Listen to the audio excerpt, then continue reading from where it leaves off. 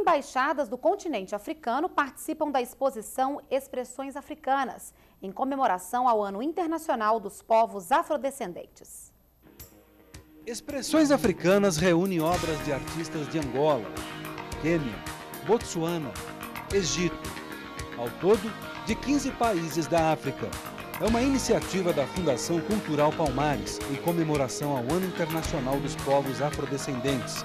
As peças da exposição foram escolhidas pelo significado para cada uma das sociedades que representam. Além do aspecto primitivo, a ideia é defender um novo olhar para essa arte, que mostre que a África não é uma referência somente para os africanos, uma vez que contribuiu para a formação da identidade de vários países.